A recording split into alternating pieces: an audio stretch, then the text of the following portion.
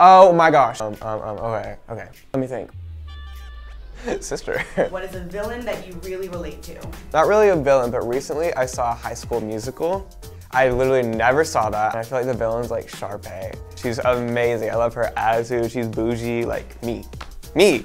A first world problem I have is that since I moved to LA, my phone service just doesn't really like to work here. So it's like really great. Love it. Well, I hate that freaking stocks app on my phone that's taking up my notifications tab, taking up everything. I don't care about no stocks. I don't care. I like Instagram. If I had to survive in the wilderness for a month, what would happen? Well, I'd probably die in the first day.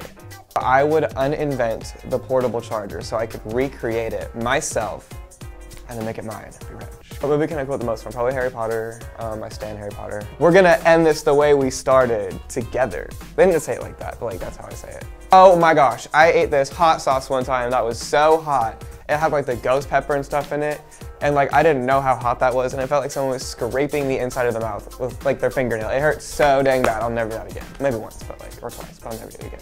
Is that a video somewhere that exists? Oh no, it was in school. It was so bad.